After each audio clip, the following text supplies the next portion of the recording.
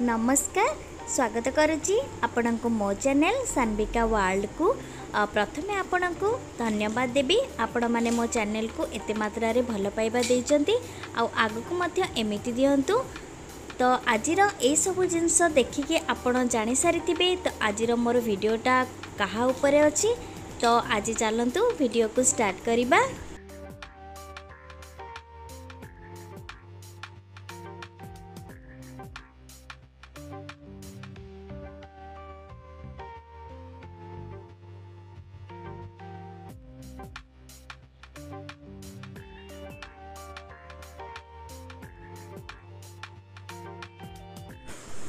ଆଜି ଲଞ୍ଚରେ ଦହି ପଖାଳ ସାଙ୍ଗକୁ ଏତେ ସବୁରୁ ଖାଇବା ହେଇଛି ତେବେ ଚାଲନ୍ତୁ ଗୋଟି ଗୋଟି କରି ଏହାର ରେସିପି ସବୁ ଶିଖିବା।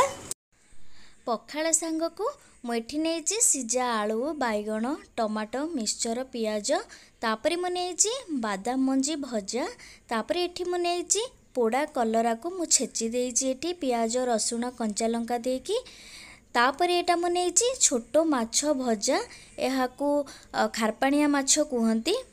ଦେନ୍ ୟା ତାପରେ ମୁଁ ନେଇଛି ଏଠି ପଣସ ମଞ୍ଜି ଭଜା ତାପରେ ମୁଁ ଏଠି ନେଇଛି କଳମ ଶାଗ ଭଜା। ଏଠି ମୁଁ ପଖାଳ ଭାତରେ ଟିକେ ଦହି ପକେଇଛି ଏଠି ମୁଁ ଗୋଟେ ଜାଗାରେ ଆଳୁ ବାଇଗଣକୁ ମୁଁ ସିଝେଇ ଦେଇଛି ତାପରେ ଏଠି ମୁଁ ମାଛକୁ ହଳଦୀ ଲୁଣ ଗୋଳେଇକି ଅଲରେଡ଼ି ରଖିଦେଇଥିଲି ଦେଖନ୍ତୁ ଏଇ ଖାରପାଣିଆ ମାଛ ଭିତରେ ଗୋଟେ ଛୋଟ ମରୁଆ ମାଛଟେ ବି ଆସିଛି। ତାପରେ ମୁଁ ତେଲରେ ଭଲ ଭାବରେ ଏଇ ମାଛକୁ ଫ୍ରାଏ କରିଦେବି। ତାପରେ ଏଠି ମୁଁ ପଣସ ମଞ୍ଜିକୁ ଏମିତି ଦିଫାଳ କରିକି କାଟି ଦେଇଛି। ଏବେ ମୁଁ ତାକୁ ଲୁଣ ହଳଦୀ ଦେଇକି ତାକୁ ଭଲ ଭାବରେ ସିଝେଇ ଦେବି ଏବେ ମାଛ ଆମର ହେଇଗଲାଣି। ତାକୁ ମୁଁ ଗୋଟେ ପ୍ଲେଟ୍ରେ କାଢ଼ିଦେବି।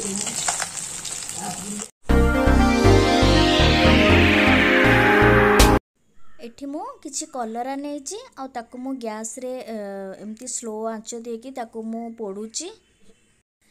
ଏଠି ମୁଁ ଗୋଟେ ପ୍ୟାନ୍ରେ କିଛି ତେଲ ନେଇଛି ତାପରେ କିଛି ଜିରା ପକାଉଛି। ତାପରେ ଏଠି ମୁଁ କଞ୍ଚା ଲଙ୍କା ଆଉ ପିଆଜ ଭଲ ଭାବରେ ଭାଜି ଦେନ୍ ଆମ ଯେଉଁ ପଣସ ମଞ୍ଜି ସିଝେଇକି ରଖିଛି ମୁଁ ତାପରେ ୟାକୁ ଭଲ ଭାବରେ ଭାଜିବି।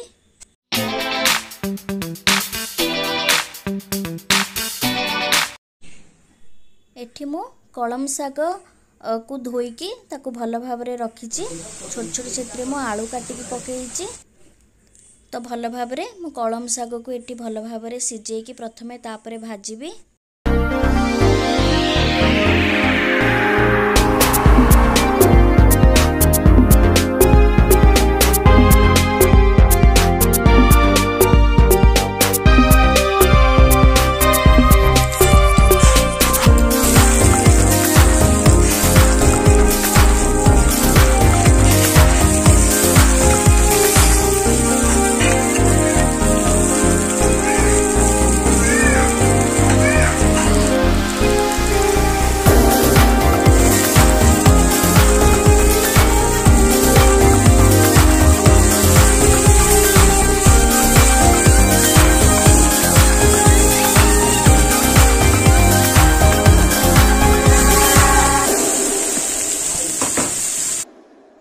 ଏପଟେ ଯେଉଁ ମୁଁ ପଣସ ମଞ୍ଜି ଭଜା ବସେଇଥିଲି ସେ ଅଲରେଡ଼ି ହେଇଗଲାଣି।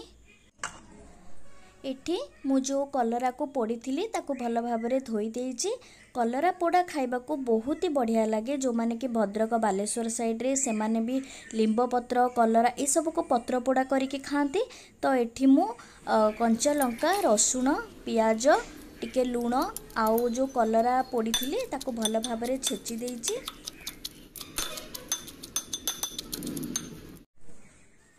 ତାପରେ ଏଠି ମୁଁ କିଛି ବାଦାମ ମଞ୍ଜି ନେଇଛି ତ ବାଦାମ ମଞ୍ଜିକୁ ଏବେ ଅ, ଟିକେ ପ୍ୟାନ୍ରେ ତେଲ ଗରମ କରିକି ଶୁଖିଲା ଲଙ୍କା ତାପରେ ମୁଁ ବାଦାମ ମଞ୍ଜିକି ଭଲ ଭାବରେ ଭାଜିଦେବି।